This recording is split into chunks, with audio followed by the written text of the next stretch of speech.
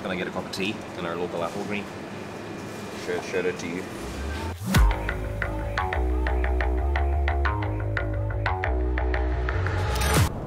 Yes, guys, I'm back.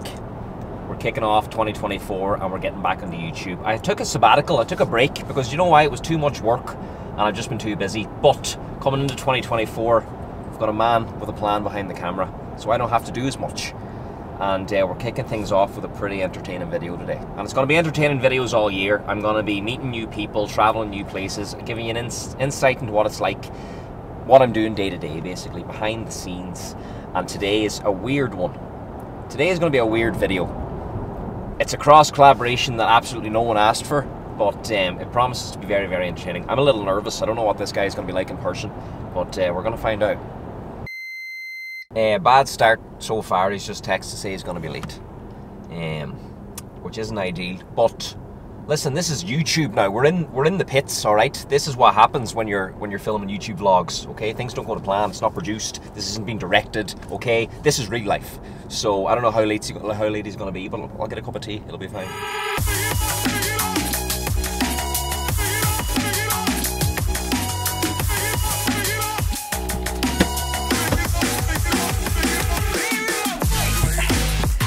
Just got uh, just got recognised in the shop there. And when I get recognised, they're like, "Oh my God, it's Eric Roberts." They said, "What was your name?" I think my grandmother follows you, so that was nice.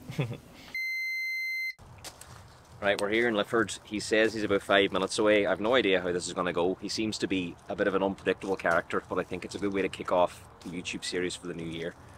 Eh, can't be far away. Right, here he is. Well, how's things? How you getting on? Too bad. I'll let this man out of here. Pleased to meet you. How you getting on? Not too bad, sir. Everybody. Going, all right. Keeping well. I feel like, I feel like we should have a Oh, hug. a hundred The pleasure of percent. being here he is. Oh, King yeah, yeah. That's it.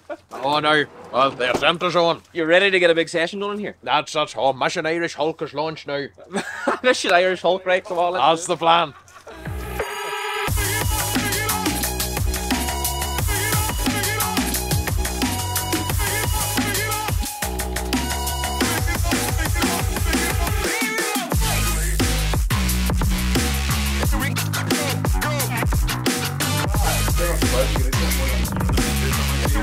Right, we're in Lifford. We're in the railway. Ra- railway. Let me chew this first. The railway gym. And I'm here with the one and only King Rory. Political aspirations. Most viral man alive in the early 2000s. And we're going to have a catch up with him today for my very first YouTube video of 2024. Absolutely. I'm st- still just a prince yet. We're Still there. Prince yet. Are you doing the session today or am I doing the session? Oh, oh, sure, we'll both go. Oh, okay. We're gonna hit some shoulders. Alright. when you start hitting shoulders, I want you to tell me about what it was like to be such a viral phenomenon at such an early age. Well, whenever it just sort of happened, like unexpectedly, I mean, it was it was a bit surreal now at the start that way, but it's, ugh, I mean, we sort of got used to everybody knowing me in that, that type of way, but we're just finally getting organised to, you know, push forward with everything in a more professional way from here on And So uh, we've a great new manager, we've Joe there now on side, so we've been organising everything together now. The uh, initial plan is just to, uh, we have a song uh, produced. There might be a few songs there just to put myself out there as like a celebrity auctioneer there. So uh, next few weeks that should be all. But you're skip, you're skipping ahead on me now. I want to know when this first came out, Frostbit Boy was absolutely everywhere. I know. What what what age were you when the video came out? 18. It was just the last year of school. And like you've been disappeared for the last number of years. Like mm-hmm. where where did you go? What were you doing? Well, I was plan- after all the frost, but I was just sort of wanted to make like a fresh start, so I decided that I was going to go to America then. And then that was, you know, like I was basically going to go and, you know, have this niche for myself, like this real Irish auctioneer out there was there. Did you did you leave because of that? You didn't want to be recognised anymore. Mm, well, it's it's not that, that I minded that bit, but it's, it's a wee bit hard then just to. Uh, b- because you weren't really famous for anything in particular other than just saying it was cool that way. This is my issue. a I, wee like, I'm not famous for any reason either. The weights must be lighter a bit, a bit lighter, are they? Oh, here we go. Come on, keep her that now. So I, I can I can relate to that. well, uh, uh, but you know, you like you likely went into it with some sort of intentionality. I suppose I you, you were, it was struck upon you. it just thrust upon me, right? Aye. but we, but anyway, I mean, we just went with it. I mean, generally, I just sort of thought, you know, for anybody entrepreneurial, there's a bit more, no opportunity in that out there. So just So you, you see it now as more of an opportunity using that clout and using that fame as to Uh-uh. propel you into something you want to do. uh, to convert into something like that, a hundred Okay. percent. Go. Push her. Come on. Push her. Fuck. Why do you do that, you bastard? See, Don't worry. Go ahead. a machine like this would have come in handy. for Women over in America. well, maybe I should have went on it before her. tell me, tell me about America. What happened in that period where we didn't know what was going on? I went to I got went to auction school and I done the real estate license out in Texas. That was fine. Uh, I, I was going with a few women that I was trying to get married to. I wasn't um, I wasn't just able to start working on the mainland straight away. So I was working on cruise ships for a while. So you were thinking green card on the brain. That was And I've heard murmurs and rumors about these women out in America. They were of a certain age. Uh huh. Well, well, you see, the way I thought about it was like, I mean, uh, does it make more sense for me? Like, I mean, some young girl, as though she's going to want a serious relationship, and you know, it takes about two or three years for that to cut to You're the right. chase. Eighty-year-old women aren't looking for anything serious. Do you know? I mean, if they haven't wrecked their own lives by that stage, you know, I mean, sure, I'm not going to. Do you know? Sure, I mean, I'm not going to add any more additional carnage. You know what I'm saying? Aye. So it just sort of seemed like she's up for the better crack. I want the green card, and that's you know, anything she demands, I'll supply, and you know, there'll be an effective enough agreement going there. You know what I'm saying? Okay. So, so that was the plan, but obviously it didn't work out. Then she died in the finish up, and then so then we were just back to square one. I was loving. So it was you were just done with old women then after experience. Uh, Did you oh, go to the funeral and stuff like? Was, No, I didn't. Only found out a couple of months later. God.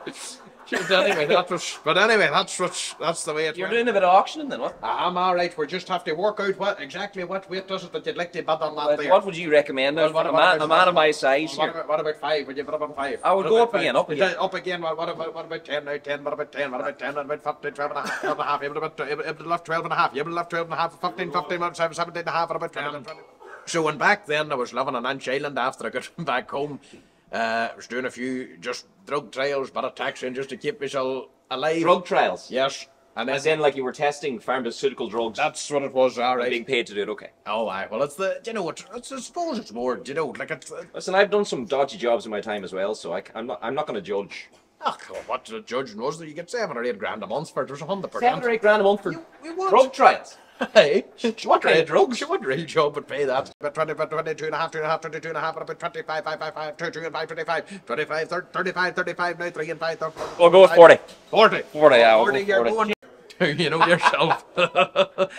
but um no, so anyway that was um so we done that and then I said, right, look, do you know what? I'm just gonna use what I have to go and make it at home there now. So then I used the old con there was a pile of these podcasts was looking for me back in the day, but I basically just had to uh, get the plans together just to work out what direction we were going before we, you know, sort of pressed forward with it in a professional So way. you, you've come in, you've come into this now, and you have a plan in place, and you says, Mm. right, it's time to get myself back in the spotlight, and that's why you're doing all the shows and the Mm-hmm. podcast and everything else because you're ready to go back out into the world. Yes. Well, that was, I mean, the plan with that there was just, as I say, get, you know, get yourself back into the uh, spotlight there, and then plus the fact that says, right, just to get on to the next step, I just need to get myself a manager now, which is what I got now, and now it's just on to the next step of the more consistent professional output now, and then just, you know, just keep going from one thing to the other to the other. Are we, are we out at 40? We're going on 45? 45. Well, we'll 45. 45. I don't want to. 45, we're going. Well, you have to put us all of misery now. What is the five-year plan for King Rory? What do we expect to see now over the coming months and years?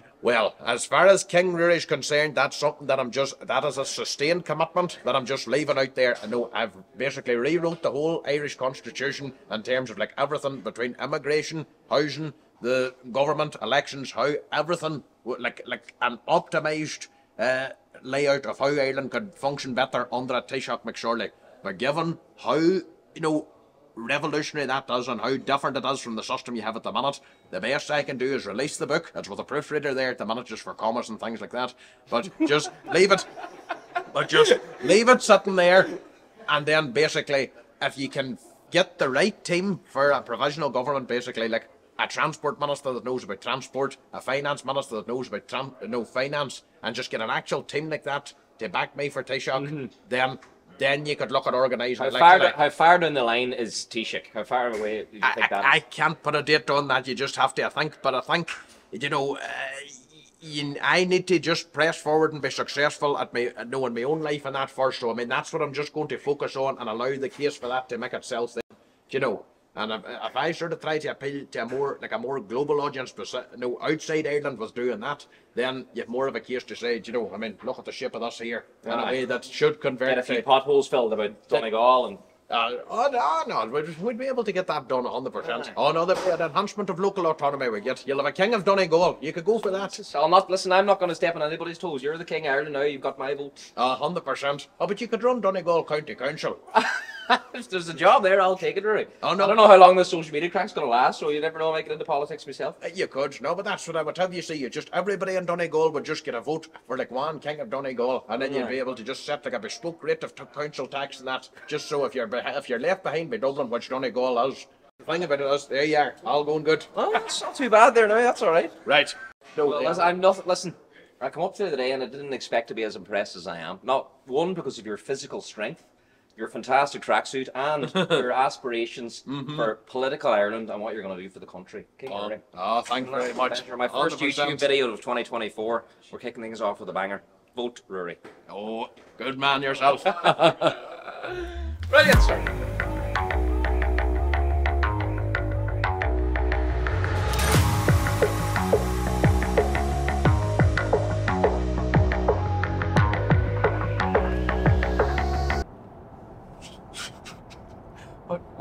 Where do we start? That was an experience. I mean, he's a very interesting guy. Um, he seems to have a vision of where he wants to go. It's you can't like he's a lovely man, but you just can't help but be baffled when you speak to him. He's just it's not a character. He's just he's he's just like that. He's always on. Um, it was an experience and a great way to kick off the new YouTube series.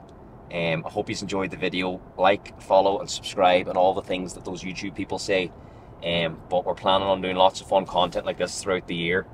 And if Rory does eventually run for Taoiseach, he has my vote. Thanks for watching, guys. he says you're going rightly. Sure, plenty. I'm uh, I'm in a really bad place at the moment. Um, not like mentally. I'm just in Lifford. A hundred percent. Like a crazy frog, Gangnam style type of deal. Ah, no, have we just got that like the sports that I get? You're just dropping a sick auction beat over over a tune. That's Russian Bishop there. For the. That's a hundred percent. How are you? A boom, boom, boom in the background. I've never heard anything described as that before, so Oh, I. And then you've all these glow in the dark sheep. there's bound to be some advantages to having one iron bigger than the other. Not really. No. And I'm, and I'm standing with a big fur coat like a DJ saying, Dance tonight like it's your last because it is your last. Yous are going on the market.